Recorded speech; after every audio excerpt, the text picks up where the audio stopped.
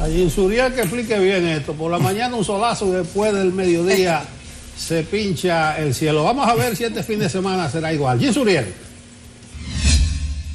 Muchísimas gracias, muy buenos días. Eh, al este de la región del Atlántico estamos vigilando una activa onda tropical que podría convertirse en una depresión para la próxima semana.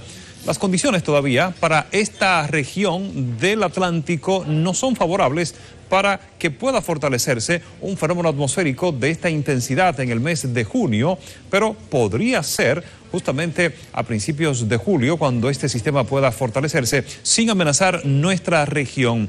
Vamos a dar seguimiento a una onda tropical que ya en las próximas horas estaría acercándose a República Dominicana y por lo tanto va a incrementar la posibilidad de precipitaciones en gran parte del país a partir de este mediodía y en la tarde va a unirse los efectos de una vaguada que se establecerá también en República Dominicana. Durante este fin de semana el panorama podría ser lluvioso en gran parte del territorio nacional.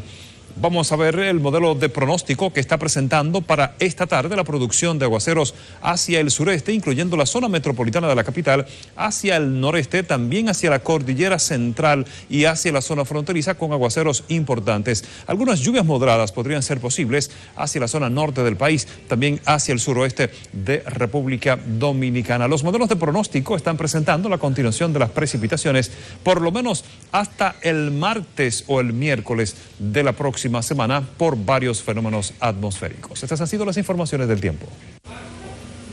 Muchas gracias, Jen.